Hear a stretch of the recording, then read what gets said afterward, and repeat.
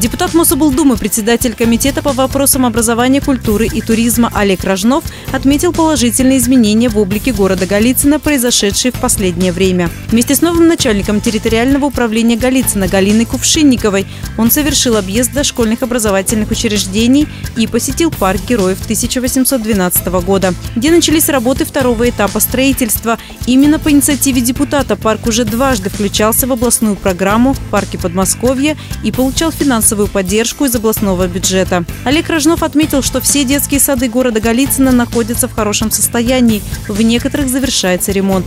В этом году из депутатского фонда Рожнова было выделено 271 тысяча рублей на приобретение мебели детского сада номер 36. После ремонтных работ ее установят в одной из групп.